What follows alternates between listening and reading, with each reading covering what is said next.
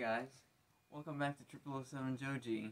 Today, I wanted to share with you a little Halloween tale involving your all-time favorite classic horror movie villain, Michael Myers. So enjoy, and happy Halloween. Hey, How's it going, man?